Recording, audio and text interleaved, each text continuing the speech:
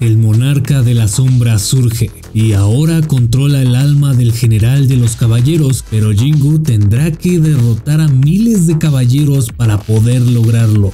Este es el recap de solo leveling de los capítulos 6 al 12 en un video. Antes de continuar te recomiendo que te suscribas a mi canal y actives la campanita para no perderte ninguna novedad. Dale like y comenta para ganarte un saludo en el próximo video. Checa la descripción del video, ahí tienes mis otras redes en donde también me puedes encontrar. Sin nada más que agregar, continuemos. El equipo está debatiendo su próximo movimiento cuando uno de los miembros desafía al líder este compañero sugiere que deberían haber optado por una solución más directa, eliminar a los enemigos y ya, pero el líder no tarda en responder, tachándolo de ignorante. Explica que si despiertan a la araña que custodia el lugar no podrán extraer un preciado mineral, además menciona que ni el arma más débil ni un luchador de rango D podrían enfrentarse a tal bestia, así que el plan es más astuto, dejar que la araña los engulla y luego esperar a que vuelva a dormirse. Esto les permite acceder a los minerales a través de unas grietas que ha descubierto y si eso falla, tienen un plan B, robar el costoso equipo de Yu Jin Ho. Incluso ya están considerando investigar de qué familia rica proviene por si necesitan aparecer en su funeral. El líder y el mago confrontan la dura realidad, ninguno de los dos es capaz de derrotar a la araña por su cuenta, lo que claramente los pone en desventaja. Entonces aparece Yu Jin Ho, quien intenta convencer a Jinwoo de que, siendo un jefe de de rango C, realmente necesitaría ser rango B para tener una oportunidad contra este formidable adversario. Le sugiere que lo mejor sería retirarse. Sin embargo, Jingu, a pesar de ser consciente de su vulnerabilidad y de que solo ha alcanzado el nivel 18, no está listo para rendirse. Reflexiona sobre cómo, incluso siendo más fuerte que el golem azul y la serpiente gigante, ambos de rango D, esta araña lo supera en poder. Aún así, muestra una determinación férrea, decidido a enfrentarse a este jefe de rango C sin temor.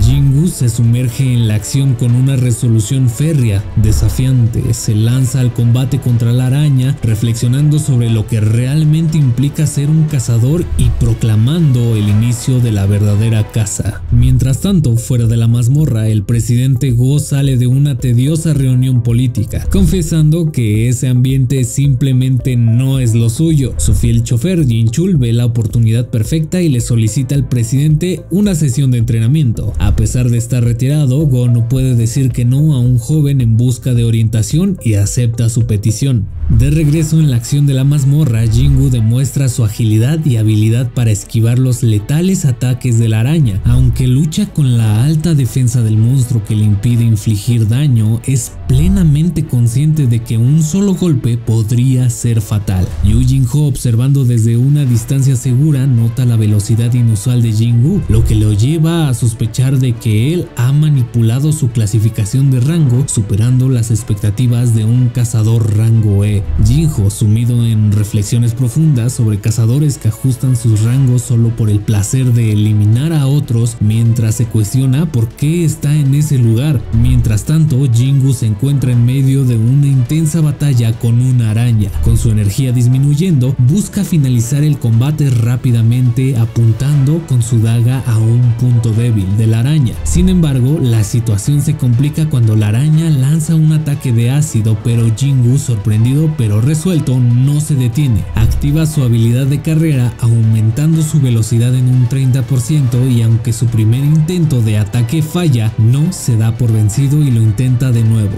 En un momento crítico con su energía casi agotada y la araña a punto de dar el golpe de gracia, Jingu activa una habilidad de recuperación total gracias a una recompensa pendiente lo que le permite revitalizarse y finalmente derrotar a la araña con un golpe certero en el ojo. Tras la victoria, el sistema le informa de sus avances de nivel y Jingu evalúa el valor del cristal obtenido. Jinho, quien impresionado empieza a tratarlo como a un líder y se ofrece a ayudarle con el equipaje y la extracción de minerales. En otro lado vemos el combate del presidente Go, quien supera a Jin Chul en un combate. Jin Chul agradece el entrenamiento reconociendo la necesidad de mejorar en combate. Go aprovecha para enfatizar la importancia de entrenar con humildad, destacando cómo las mazmorras revelan la verdadera naturaleza de las personas. Cambiando de escena, volvemos a la mazmorra donde hay un malentendido entre el grupo. Piensan que Jinho fue quien derrotó a la araña, pero en realidad hay algo más siniestro en juego. El líder del grupo, conocedor del influyente trasfondo de Jinho, le propone una oscura oferta, eliminar a Jingu para quedarse con las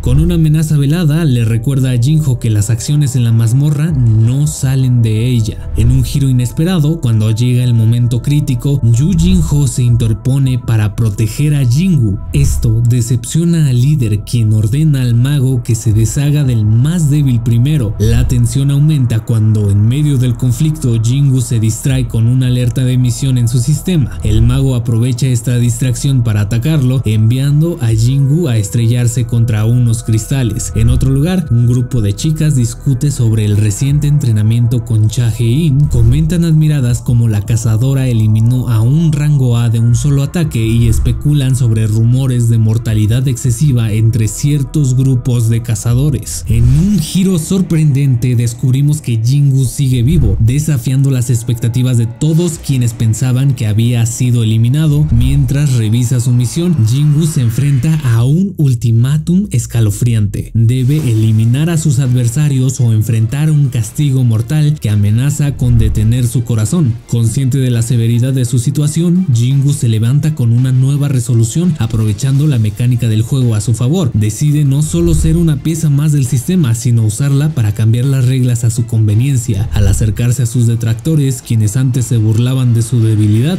Jingu les recuerda cruda y fríamente que en este lugar los débiles son los primeros en ser sacrificados. Con una aura oscura emanando de él, desafía el grupo preguntándole si están realmente preparados para lo que significa ser cazadores, insinuando que la caza podría volverse contra ellos. Uno de los cazadores se le acerca con arrogancia intentando intimidarlo, pero Jingu, imperturbable y con la frialdad de su pasado, está listo para demostrar que las apariencias engañan. En un momento crítico utiliza su daga para decapitar a un enemigo, marcando el primero de seis objetivos eliminados. La sorpresa invade al grupo mientras debaten sobre el misterioso origen del arma de Jingu. El líder, particularmente atónito, no puede creer cómo Jingu, un mero rango E, eliminó tan fácilmente a un rango D.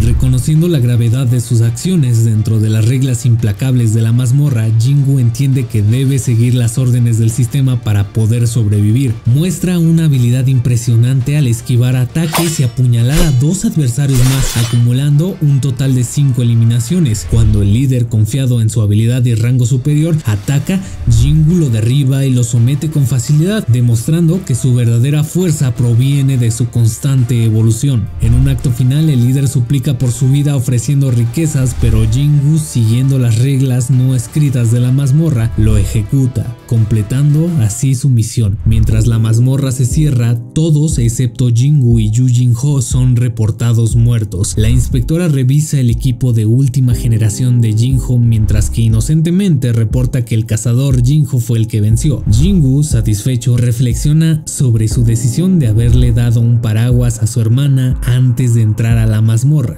mientras en otro rincón del mundo un hombre fornido observa desde su ventana cómo amanece. Al poco tiempo, con Jin Chul, quien está a cargo de investigar un evento donde seis participantes perdieron la vida, lo sorprendente es que Jingu y Yu Jinho no solo lograron salir vivos, sino que también derrotaron al jefe de la mazmorra. Este suceso es especialmente impactante porque uno de los fallecidos es Juan Dong-suk, hermano mayor de Dong-soo, añadiendo un giro dramático a la investigación ya que aquel tipo en la ventana era familiar de Dong-soo. Mientras tanto, Jingu regresa a casa sin un y lleva pollo frito para compartir con su hermana Gina. Durante su conversación, Gina indaga sobre la incursión sabiendo que Jingu salió victorioso. Jingu reflexiona sobre la facilidad con la que enfrentó los desafíos, reconociendo que la arrogancia de sus enemigos le irritó inicialmente. Este enfrentamiento le hizo cuestionar si su crecimiento en poder podría estar inflando su ego. Sin embargo, recuerda que estaba luchando contra personas, no monstruos, lo que lo lleva a una introspección más profunda. A pesar de las preocupaciones de su hermana, Jingu concluye que los pensamientos negativos deben dejarse de lado. Lo más importante para él ahora es seguir fortaleciéndose por el bien de su familia y sobrevivir a cualquier costo. Este compromiso con su crecimiento personal y la protección de sus seres queridos es lo que Jingu se promete mantener en adelante. Jingu descubre una habilidad única de su sistema, la bendición del gran hechicero. Esta bendición le permite disfrutar de beneficios como salud mejorada, longevidad y la notable capacidad de regenerarse y desintoxicarse automáticamente, lo que hace que el alcohol no tenga efecto en él.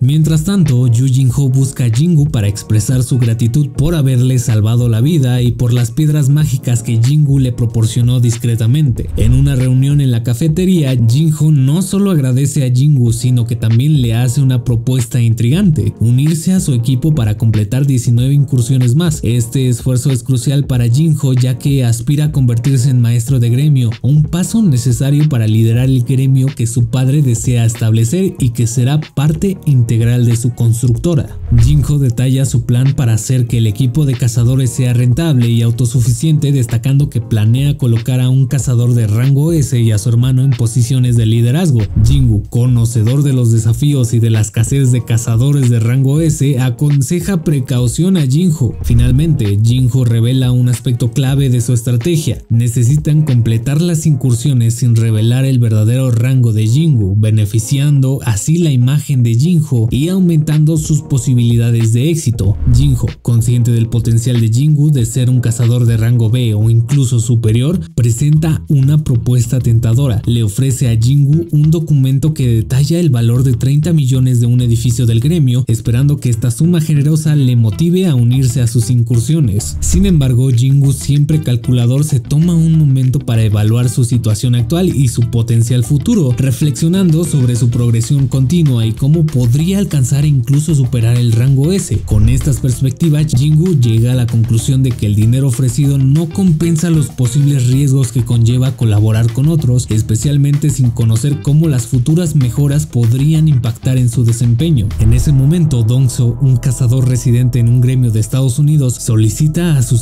los detalles sobre los dos sobrevivientes de una incursión donde murió su hermano. Al comprender las consecuencias legales de venganza en un país extranjero, Dongso reflexiona sobre sus opciones. A pesar de querer actuar de inmediato, debe ajustar sus planes por otros compromisos del gremio, mientras espera con impaciencia el momento de confrontar a los supervivientes Jinho y Jingu.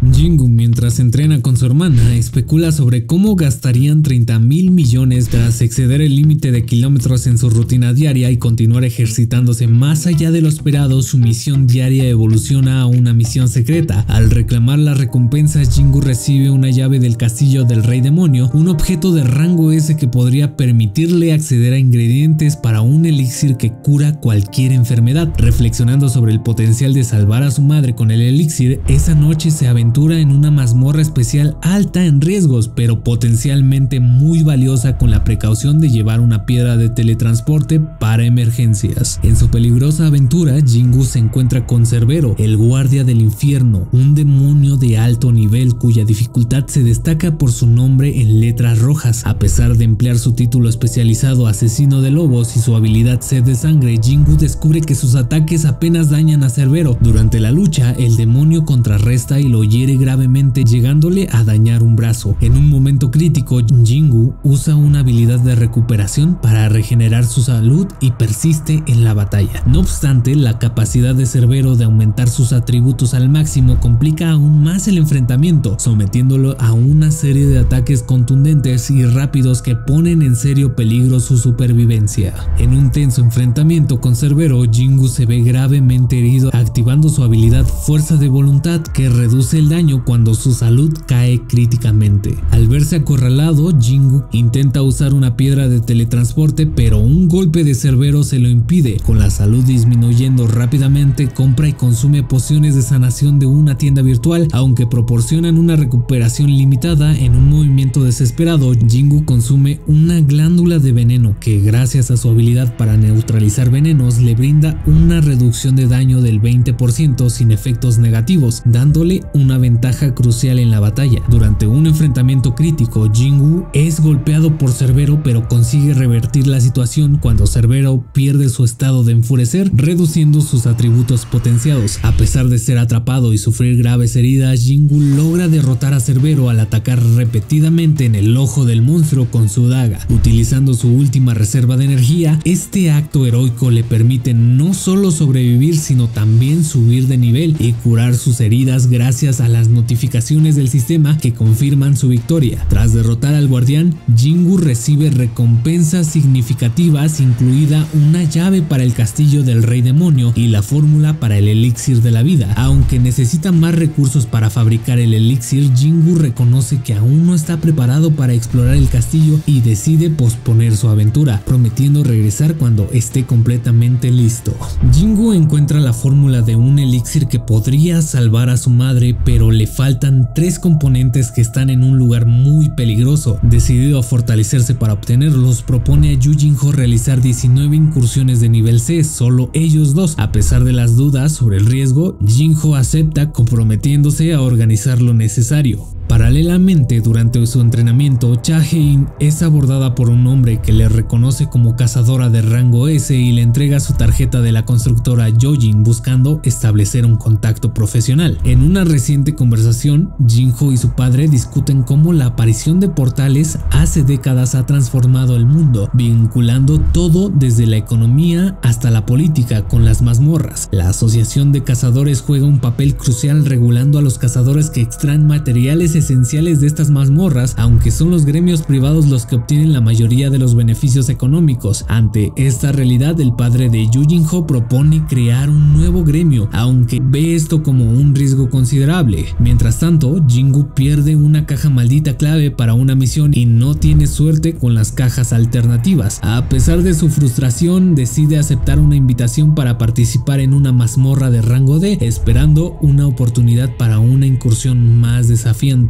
Por otro lado, el señor Chiyul un maestro de kendo y cazador mágico que perdió un brazo en aquella mazmorra doble, sigue enseñando y reflexiona sobre su futuro, mostrándose determinado a contribuir al mundo mientras le sea posible. El señor Kim en una conversación con su esposa justifica la necesidad de seguir trabajando como cazador para asegurar la educación futura de su hija, pese a los riesgos asegurando que las mazmorras a las que asiste no son tan peligrosas. Finalmente, Baek Jung-hoo, líder del gremio Tigre Blanco, a Choi por una entrevista conflictiva y se entera de que la constructora Yojin está intentando formar un nuevo gremio, un movimiento que podría amenazar la estabilidad de los gremios existentes. Por otro lado, Yoji enfrenta una conversación tensa con su madre, quien le pide que deje su carrera de cazadora para regresar a casa y ayudar con el negocio familiar. A pesar de sentirse momentáneamente dudosa sobre su habilidad, Yoji decide perseverar y acepta una invitación para una incursión de clase D, reafirmándose en su elección de carrera. Paralelamente, Bai Jung-hoo contempla su pasado y los eventos traumáticos en la isla Jeju, reflexionando sobre la necesidad de regresar a pesar de los peligros. En una discusión con Choi, ambos reconocen la importancia de fortalecer su equipo y no dividirse dada la necesidad de movilizar a la sociedad hacia un objetivo común. En una escena en un edificio desolado, un hombre le pide a otro que elimine a unos individuos por otro lado, Jingu se prepara para una incursión y su hermana comenta sobre su evidente no agotamiento. Aunque ella muestra preocupación, Jingu asegura de que todo está bajo control. Simultáneamente, el señor Chiyul, un cazador mágico sin habilidades de combate físico ahora, reflexiona sobre su inutilidad en combate mientras se encuentra con Jingu, quien ha recuperado milagrosamente sus piernas, lo que Chiyul atribuye a la intervención de un curador experto. Ambos se dan cuenta que están convocados a la misma mazmorra y se percatan de la presencia de antiguos compañeros, incluida Yoji, con quien Jingu intercambia miradas. La tensión aumenta con la llegada de un grupo de criminales utilizados como cazadores sustitutos para mitigar sus condenas, bajo la supervisión de Kaen Dae-shik, un cazador de rango B que promete mantener la situación controlada. A pesar de las preocupaciones, Jingu respalda a Chiyu como líder del grupo, quien agradecido acepta el rol y guía al equipo hacia la mazmorra.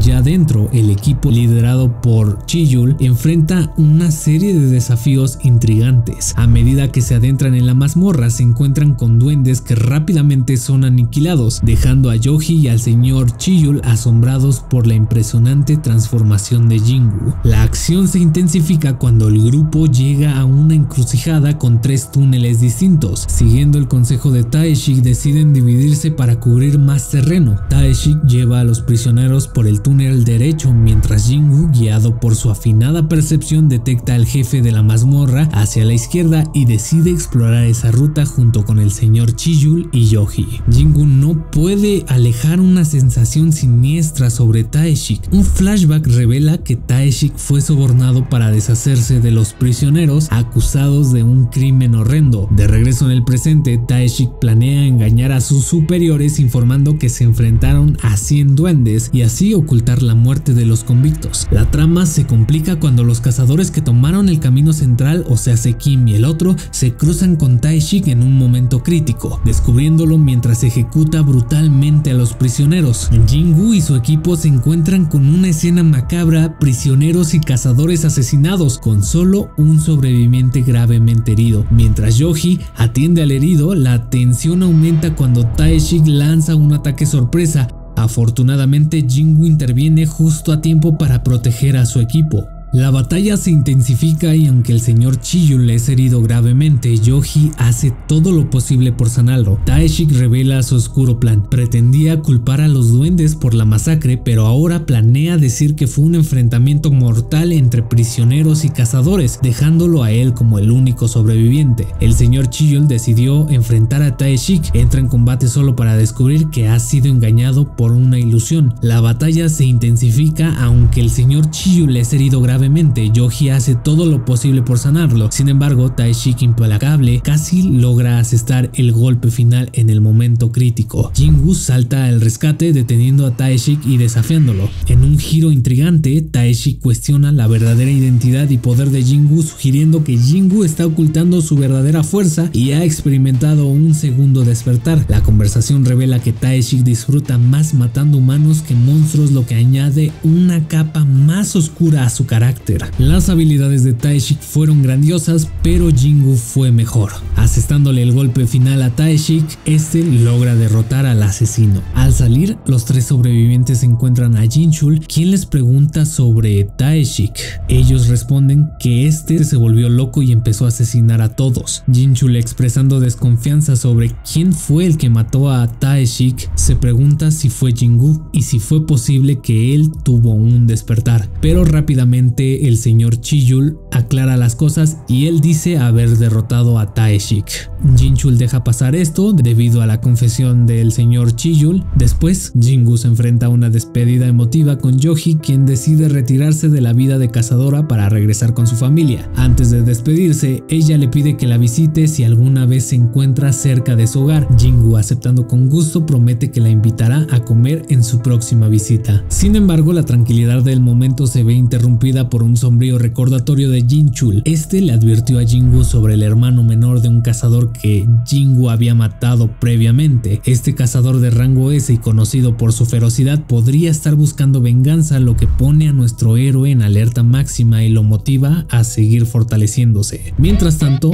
días después, Jingu y Jinho se preparan para entrar en otra mazmorra. Reclutan a un grupo de cazadores necesitados de dinero, incluyendo una joven cazadora de rango E. A pesar de que el grupo parece poco prometedor debido a su condición de heridos y borrachos, cumplen con el requisito de número necesario para la entrada a la mazmorra. Los planes son claros, solo Jingu y Jinho entrarán realmente a la mazmorra, mientras que los demás esperarán afuera, recibiendo una compensación por su tiempo con la condición de no divulgar ningún detalle. Antes de iniciar la incursión, Jingu utiliza una piedra de sigilo que obtuvo de su último encuentro con Taishi, lo que le otorga la habilidad de moverse sin ser detectado. Jinho intenta impresionar con una armadura italiana, pero Jingu demuestra rápidamente su ineficacia con un simple empujón que hace caer a Jinho estrepitosamente. Con Jinho recuperado y solo conservando el casco, ambos se adentran en la mazmorra, listos para enfrentar lo que les espera. Jingu y Jinho dejan a todos impresionados después de una serie de incursiones exitosas en mazmorras donde Jingu no solo sube de nivel, sino que también perfecciona sus habilidades, incluyendo una útil habilidad de sigilo y técnicas avanzadas con dagas. Este rendimiento excepcional pone a Jingu en el radar del gremio Tigre Blanco, que sospecha que ha experimentado un doble despertar debido a su resistencia y habilidades sobresalientes. Durante una intrigante reunión nocturna, los miembros del gremio Tigre Blanco intentan reclutar a Jingu ofreciéndole el doble de su paga actual, sin embargo, Jingu eleva astutamente la propuesta pidiendo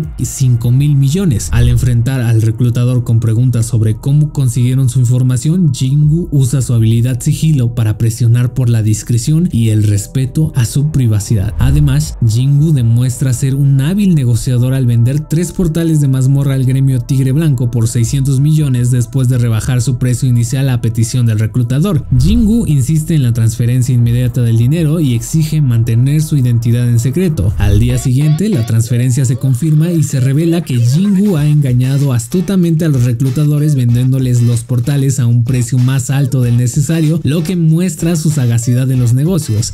A pesar de sentirse superados en el trato, los reclutadores se consuelan con haber obtenido el contacto de Jingu. Tiempo después, Jingu se embarca en una misión desafiante dentro de una mazmorra, donde descubre que no puede usar pociones ni salir hasta completarla. Aunque olvidó realizar sus misiones diarias, decide enfocarse en los retos presentes. En su aventura se enfrenta a varios enemigos, incluyendo caballeros con habilidades de sigilo y un mago poderoso. A pesar de la dificultad y la fatiga creciente, Jingu logra superar los obstáculos utilizando todas sus habilidades, obteniendo como recompensa objetos valiosos y una pechera de caballero que no obstaculiza sus movimientos. Al final de la mazmorra se enfrenta a Igris, el comandante de los caballeros, en un duelo mano a mano después de que ambos deciden luchar sin armas. Jingu enfrenta una feroz batalla contra Igris y a pesar de estar en desventaja logra derrotarlo utilizando una combinación de velocidad y tácticas astutas. Como recompensa por su victoria, Jingu obtiene varios ítems valiosos, incluido un casco de caballero de rango S y una piedra de teletransporte instantáneo. Pero la aventura no termina aquí, la misión de cambio de empleo de Jingu recién comienza y el desafío se intensifica. De repente, Jingu se encuentra rodeado por cientos de caballeros, aunque confiado, pronto descubre que los magos enemigos neutralizan su habilidad de sigilo, dejándolo expuesto. En un intento crítico de escapar, Jingu sufre un golpe que le hace soltar la piedra de teletransporte, eliminando su única vía de escape. Ahora, sin ninguna posibilidad de retirarse, Jingu debe enfrentar el abrumador número de enemigos solo. Con apenas vida restante y sin habilidades disponibles para usar, Jingu lucha desesperadamente contra todos los obstáculos. Decidido a no rendirse a lo largo de su batalla, experimenta momentos de reflexión intensa cuando escucha una voz que lo desprecia llamándolo el arma más débil de la humanidad y sufre alucinaciones de personas conocidas. Estas visiones lo instan a no esforzarse más de la cuenta y a considerar detenerse. Incluso se encuentra cara a cara con una versión anterior de sí mismo que lo critica por elegir un camino tan arriesgado y le sugiere que se conforme con los logros obtenidos hasta ahora. En la oficina del presidente Go y Jinchul analizan las consecuencias de la tercera incursión a la isla Jeju, marcada por pérdidas significativas y efectos duraderos en la salud mental de los sobrevivientes.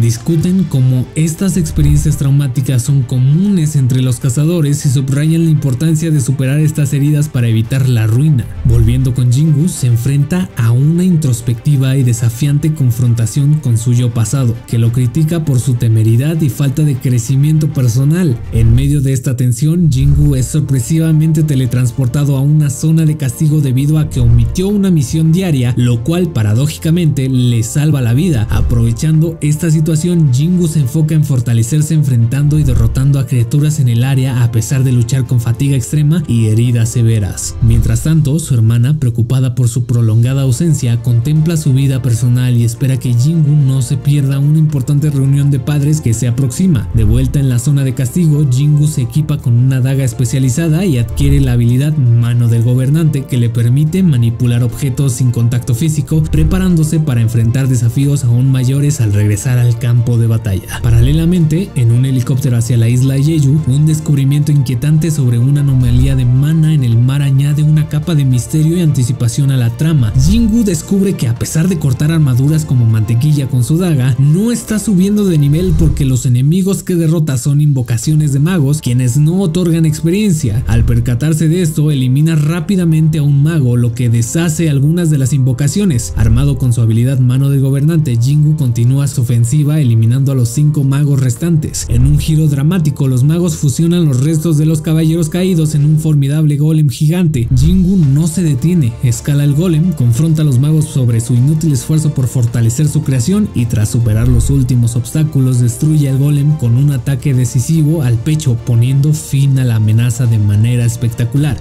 Jingu completa su misión de cambio de clase después de 4 horas y el sistema le notifica que ha desbloqueado la opción de ascender a una clase superior. Tras una evaluación se revela que Jingu posee la habilidad de invocar y comandar espíritus del Valle de la Muerte, siendo asignado a la clase de nigromante. A pesar de su reticencia inicial debido a su falta de inversión en inteligencia y su preferencia por el combate físico, Jingu se siente intrigado por la posibilidad de liderar un ejército de espíritus y decide aceptar esta nueva clase, reconociendo su potencial estratégico. Simultáneamente, el, presidente Go y Jinchul discuten la llegada inminente de cazadores a la isla al amanecer. Go reflexiona sobre la naturaleza del progreso de los cazadores, destacando que verdaderas mejoras ocurren principalmente después de un segundo despertar, lo cual impulsa a muchos a practicar artes marciales y a colaborar estrechamente en grupos. Expresa su optimismo sobre el potencial emergente de nuevos líderes entre los recién despertados, alimentando la esperanza de no solo un futuro prometedor para la comunidad de cazadores, sino para el mundo entero. Regresamos a nuestro protagonista, quien atraviesa un significativo cambio de clase gracias a sus logros acumulados. Jingu ha ganado puntos adicionales por exceder el tiempo estimado de supervivencia, no utilizar la piedra de teletransportación, mantener más del 50% de su vida y derrotar a todos los adversarios. Estos logros le permiten superar el umbral necesario para ascender de clase, transformándose de un nigromante a monarca de las sombras. Mientras un aura oscura lo envuelve, recibe una habilidad especial de clase, 10 puntos de atributo adicionales y un nuevo título. Jingu percibe una presencia inusual en los enemigos derrotados y escucha un débil gemido. Activa su nueva habilidad de extracción de sombra y el sistema le solicita seleccionar una palabra clave para el comando eligiendo la palabra surge. Al hacerlo, las sombras cobran vida formando criaturas sombrías ante sus ojos lo cual le causa diversión. El sistema le detalla dos habilidades, extracción de sombras que absorbe el mana de cuerpos sin vida transformándolos en soldados sombríos sin coste de MP. Actualmente puede mantener hasta 30 soldados, aunque la eficacia de la habilidad disminuye con cuerpos que llevan mucho tiempo muertos o que tienen atributos superiores a los de Jingu. La segunda habilidad, almacenaje de sombras, también libre de coste de MP, permite almacenar hasta 20 soldados para ser invocados en cualquier momento. Jingu se enfrenta al desafío de potenciar su ejército de sombras al intentar extraer la sombra de Igris, un enemigo de alto rango. Después de varios intentos fallidos, logra con éxito invocar a Igris en su último intento, integrándolo a su creciente ejército de sombras. En un emocionante, Jingu convence a Igris de servirle, transformando al poderoso guerrero en un leal aliado. La temporada concluye con una reveladora escena post-créditos donde el equipo de Choi hace un descubrimiento sorprendente. Las hormigas que parecían simplemente criaturas han evolucionado y han desarrollado alas. Este hallazgo sugiere cambios significativos en el cual plantean nuevas preguntas sobre la adaptación y evolución de las criaturas en el universo de la serie. Ha llegado el momento de decir adiós por ahora. Ha sido un viaje increíble el poder compartir este resumen contigo. Antes de irnos recuerda suscribirte para no perderte un solo resumen futuro. Dale like si te ha gustado lo que has visto y deja tus comentarios con sugerencias y opiniones. Recuerda que si comentas podrás salir en el siguiente video al final. Y por supuesto no te olvides de echar un vistazo a nuestras redes sociales en la descripción para mantenerte al tanto de todas las novedades y contenido exclusivo. Nos vemos en el próximo video. Sayonara. Bye bye.